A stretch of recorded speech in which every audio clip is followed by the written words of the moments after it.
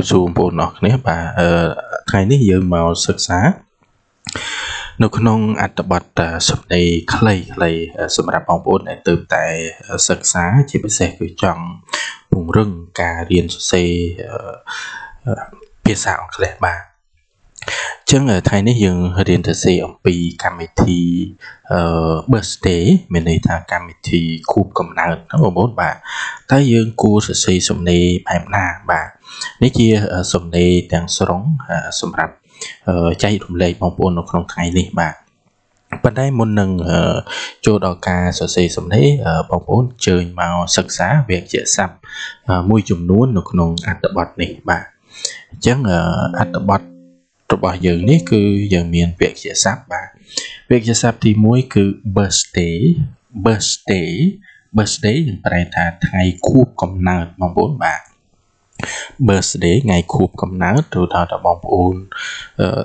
កើតនៅថ្ងៃណាខែណា ឆ្នាំណាអីចឹងណាហើយដល់ពេលហ្នឹងគឺយើងមានកម្មវិធីខួបកំណើតខួបអីចឹងទៅបាទ birthday ថ្ងៃខួបកំណើតឥឡូវយើងមកមើលពាក្យទី2 ពាក្យទី2គឺ holiday holiday ថ្ងៃឈប់សម្រាកបងប្អូនបាទ holiday holiday ថ្ងៃឈប់សម្រាកហើយវគ្គស័ព្ទទី3បងប្អូនវគ្គស័ព្ទទី3គឺ invite invite invite គឺអញ្ជើញបាទនេះជើងចបងប្អូនបាទ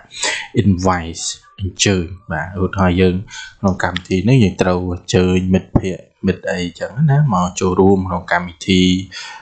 birthday របស់យើងណាបាទវិទ្យាសាស្ត្របន្តទៀតគឺ present present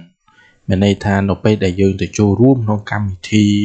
គូបកំណើតហ្នឹងគឺយើងត្រូវមានកដោមានអីជូនអ្នកដែលត្រូវអឺមានថ្ងៃគូកំណើតហ្នឹងបងប្អូនបាទមានកដោអនុស្សាវរីយ៍អីផ្សេងផ្សេងហ្នឹងគឺ present យើងប្រែថាកដោបាទហើយបន្តទៀតមួយទៀតគឺ play បាទ play យើងប្រែថាលេងចុះនៅក្នុងកម្មវិធីគូកំណើតហ្នឹងតើយើងមានកម្មវិធីអីលេងកំសាន្តទៀតអញ្ចឹងបងប្អូនបាទអញ្ចឹងយើងមានពាក្យ play ដែលយើងប្រែថាលេងអឺនេះជាវេជ្ជស័ព្ទសំខាន់សំខាន់នៅក្នុងអត្ថបទខ្លីអឺនេះបាទគឺបងប្អូនដែលចូលសិក្សានឹងបានដឹងឥឡូវយើងចូលមកក្នុងអត្ថបទរបស់យើងតែម្ដងបងប្អូន បាទអត្ថបទរបស់យើងនេះគឺមានប៉ុណ្ណឹងបងប្អូនបាទ I am 9 years old I am 9 years old មានន័យថាខ្ញុំមានអាយុ9ឆ្នាំ9យើងប្រែថា9 years old 9ឆ្នាំបាទ I love all holidays I love all holiday លើមប្រែថាចូលចិត្តអីចឹងណាបងប្អូនបាទ all holiday បានន័យថាគ្រប់ថ្ងៃឈប់សម្រាកទាំងអស់ឲ្យតែថ្ងៃដែលឈប់សម្រាកហ្នឹងគឺពេញចិត្តហ្មងបងប្អូនបាទហើយយើងបន្តទៀតតទៀតគឺ birthday is my favorite holiday បាទនៅក្នុងថ្ងៃឈប់សម្រាកទាំងអស់ហ្នឹងគឺមានតែថ្ងៃ birthday របស់ខ្លួនឯងទេ ដែលយើងមានអារម្មណ៍ថាសប្បាយចិត្តពេញចិត្តអីចឹងបងប្អូនបាទ birthday is my favorite holiday បាទថ្ងៃគូកំណើតគឺជាថ្ងៃឈប់សម្រាក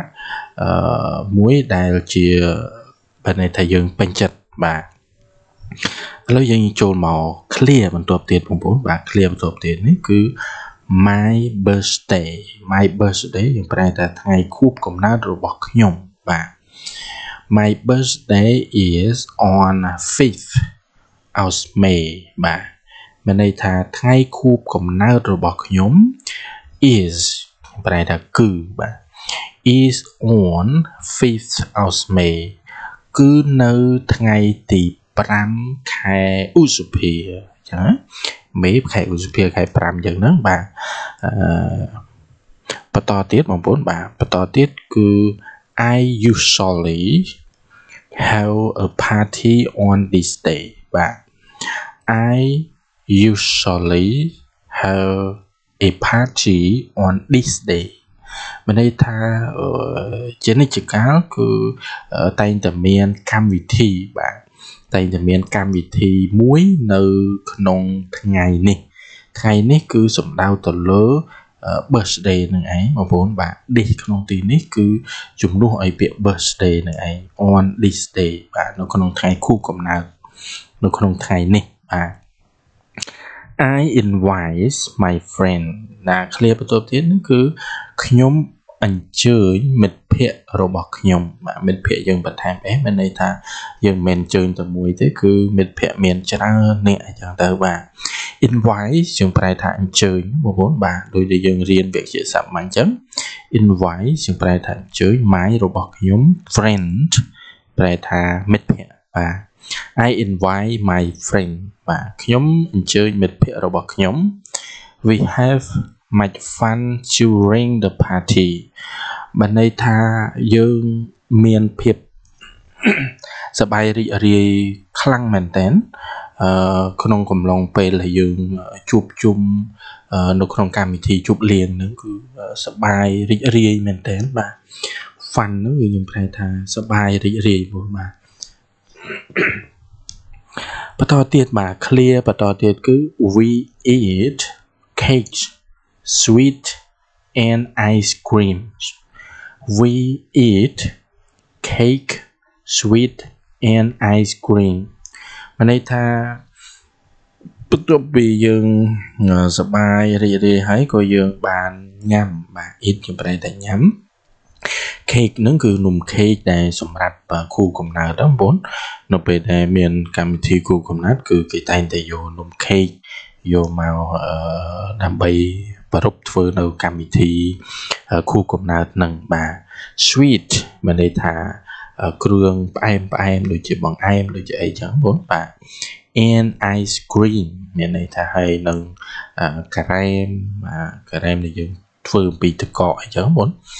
បងប្អូនអាចស្គាល់ហើយបន្តទៀតបងប្អូនបាទបន្តទៀត we play game we play game បន្ទាប់ពីយើងញ៉ាំម្ហូបអាហារអីរួចរាល់ហើយក៏មានកម្មវិធីបន្ទាប់ទៀតគឺយើងលេងល្បែងកំសាន្តបាទហ្គេមក្នុងទីនេះគឺសំដៅទៅលើល្បែងកំសាន្តផ្សេងផ្សេងណាបងបាទ we play games បាទយើងលេងល្បែងកំសាន្តផ្សេងផ្សេងដើម្បីបង្កបរិយាកាសនៅក្នុងកម្មវិធី birthday ហ្នឹងឲ្យវាកាន់តែរីករាយបាទបន្តទៀតគឺ I get a lot of inspiration on this day មានន័យថាបន្ទាប់ពីយើងលេងហ្គេមលេងអីហើយលទ្ធផលចុងក្រោយលទ្ធផលចុងក្រោយមានន័យថាខ្ញុំបានទទួលនៅកាដូជាច្រើននៅក្នុងថ្ងៃនេះ នៅក្នុងថ្ងៃខួបកំណើតនឹងអញ្ចឹងបងបាទនៅក្នុងថ្ងៃខួបកំណើតហ្នឹងគឺយើងបានទទួលនៅកាដូផ្សេងផ្សេងជាច្រើន ពីមិត្តភ័ក្តិនិងពីអ្នកដែលមកចូលរួម នៅក្នុងកម្មវិធីហ្នឹងបាទឥឡូវខ្ញុំសរុបមកវិញ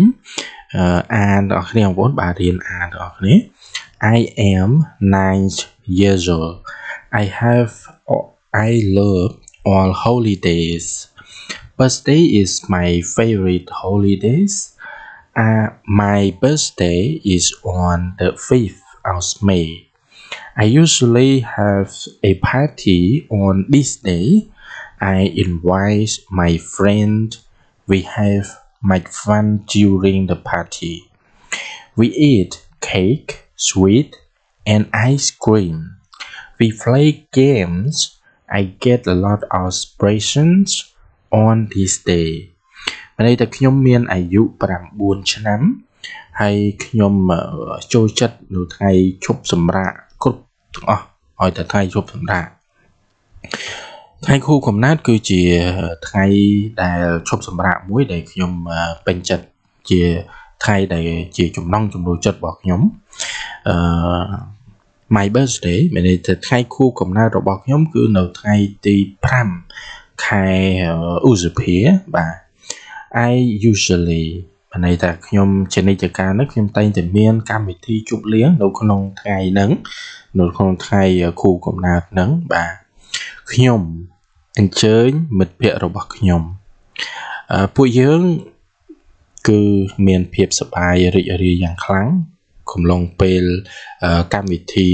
ជួបជុំគ្នាជប់លៀងហ្នឹង ពួកយើងបានញ៉ាំនៅនំខេកហើយនឹងបង្អែមព្រមទាំងអឺការ៉េការ៉ែនមួយចំនួនបាទពួកយើងបានលេងនៅលបែងផ្សេងផ្សេងជាច្រើន ហើយខ្ញុំបានទទួលនៅកដោជាច្រើននៅក្នុងថ្ងៃនេះបាទ អឺនេះជាអត្ថបទខ្លីសម្រាប់ចែករំលែកជូនបងប្អូនទាំងអស់គ្នា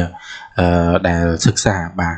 អត្ថបទនេះមានសារៈសំខាន់សម្រាប់បងប្អូនដែលចង់ពង្រឹង